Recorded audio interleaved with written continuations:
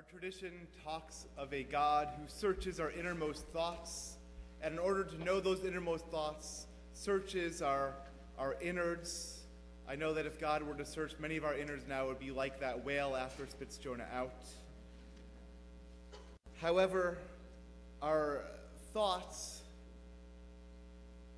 come out into the world, they come to life in small, intimate ways the people who we are are displayed to our Places friends and like our family, the kitchen, the living room, the dining room, sitting in the car together, places where real life takes place.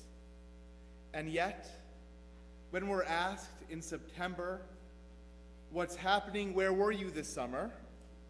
We transport ourselves to the landmarks, to the monuments and the beaches, the walks and the shows, the big and the unusual. But most of these trips, we know, were spent in mundane conversation. Where are we going to eat next? Can you find my sunglasses? Pass me the book. Let's make sure we have enough water and sunscreen. We often think of God and Judaism the same way that Judaism takes place on the big days Rosh Hashanah, Yom Kippur, Pesach, in these big locations in time. It does, but it also takes place in the kitchen beforehand and while shopping, making choices around the menu. It takes place while you are doing the dishes while you are talking to family or the person helping, in the way that we talk to family and the people helping, with kindness, in the wages we pay and the time off we provide, in the details. Some attribute this phrase to Aby Abraham Warburg.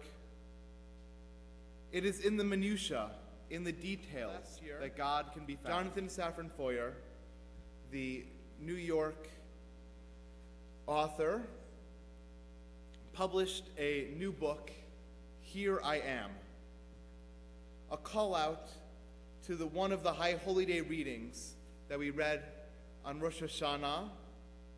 In his book, Here I Am, he discusses a question of how we can be there as Abraham was for his son Isaac and also be there for God, as Abraham was in that same story. How is there a catch 22?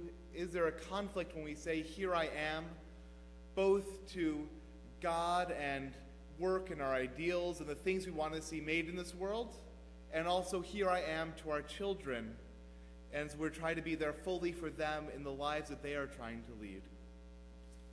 He gave an interview about this book with Terry Gross of the NPR show Fresh Air in a beautiful conversation. In it, they talk about memory and love and loss.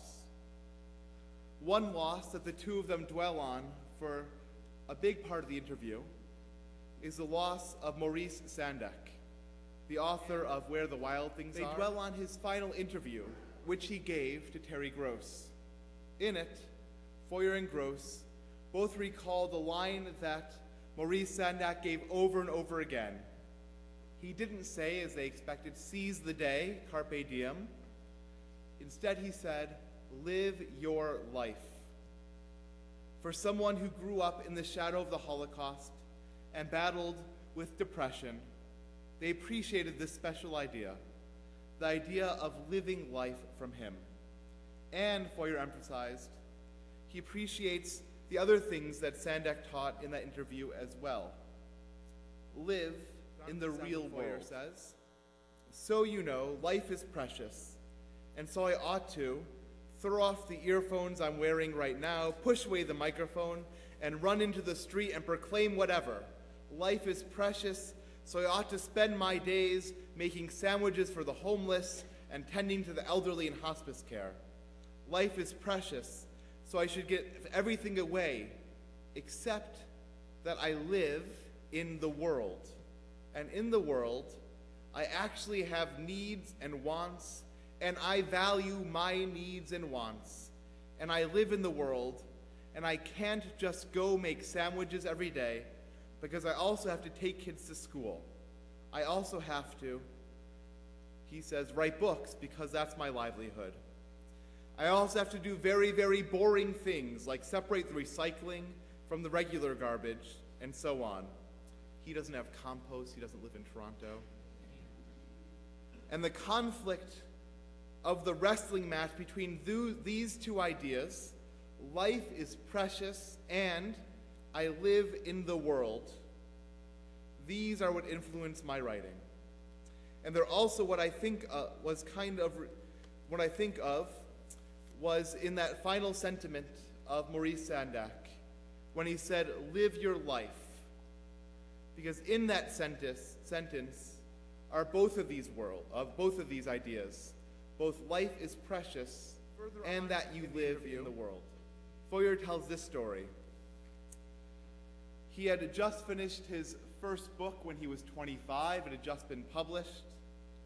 And he got a letter from Maurice Sendak asking him for a signed copy of that book. So he thought, I'm going to do something really special for one of my favorite authors, for someone who's influenced me so much. I'm going to do something really special for him in the gift of this book. So he went to the store, bought a drill, took a book, drilled a hole through the center of that book, took a six inch lock, locked the book shut, and signed Here is something special something that Maurice Sendak will appreciate. Here is something that is unique.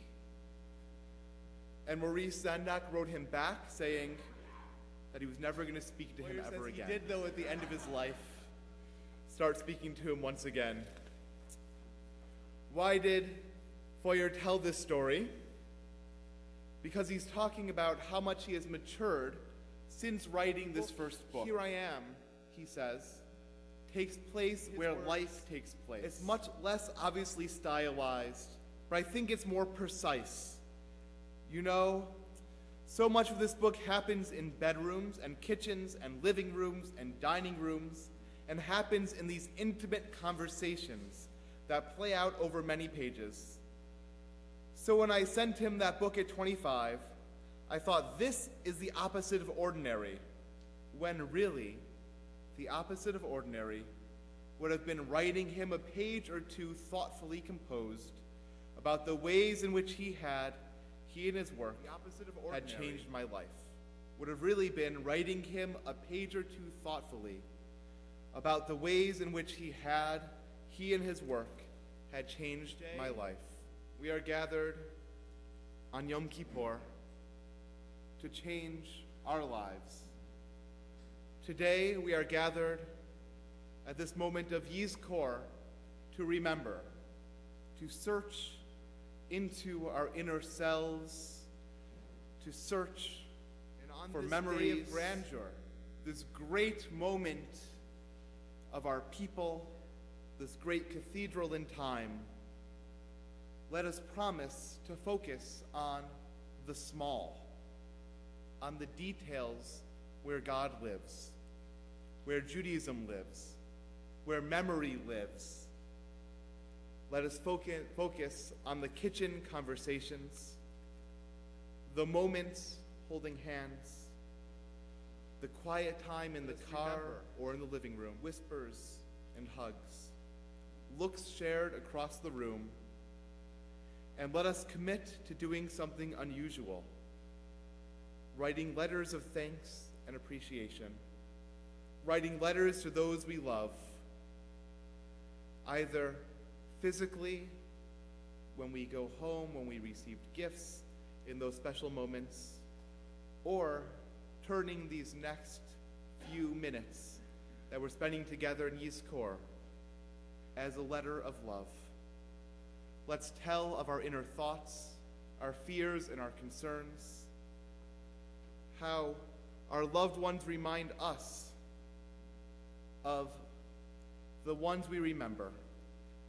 How this thing that you did reminds me of my loved one in the way that you talk to your children, the way that you approach life, of how you remind me of what is valuable and what was sacred in my relationship.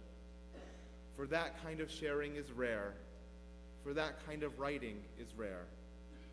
For these memories, for these details, are where we really find connection. These memories, these details, are how we really find God. Yizkor, God, remember.